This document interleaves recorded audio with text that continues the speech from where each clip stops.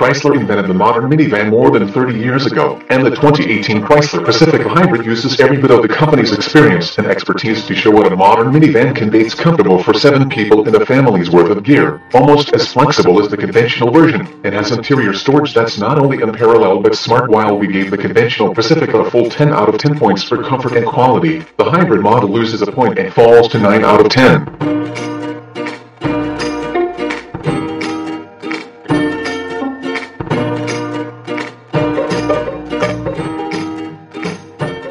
We dropped it one point for the loss of Chrysler's trademark Stow 'n Go foldaway second row, since the hybrid system's lithium-ion battery pack now rests in the box where the seat would normally go those losses aside. The Pacifica remains a large vehicle but one that takes advantage of its volume, accommodating even 6-foot adults in its third row that's a rare feat indeed among minivans, let alone 3-row crossover utility vehicles the second row can still be folded down, but it no longer drops into the floor, though the third row still folds away as usual.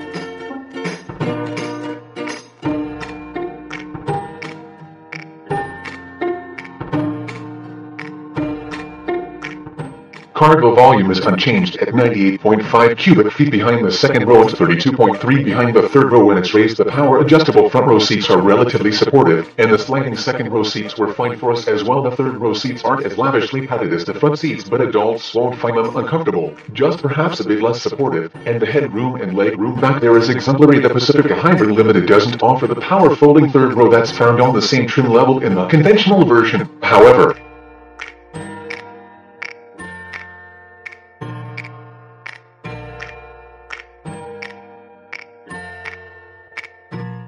Storage space is more than ample, including deep vents in the console big enough to hold a tablet and quite a lot more. Storage in door pockets, and cubbies, trays, and cup holders galore. Even the third row has multiple cup holders. It's the only vehicle in which we've covered thousands of miles without being able to fill all the available cabin storage.